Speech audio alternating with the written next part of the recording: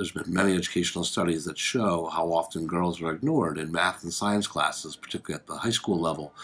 And I think when you project that that um, that statistic over numbers of years, it helps explain why girls don't feel confident in going into fields professionally that are related to math and science because they've been so overwhelmed by uh, boys' presence in class um, and teachers basically um, calling on boys more frequently in math and science classes over the years. And I think over the years that helps girls form an opinion and sometimes a fear that they'll be challenged to go into those fields.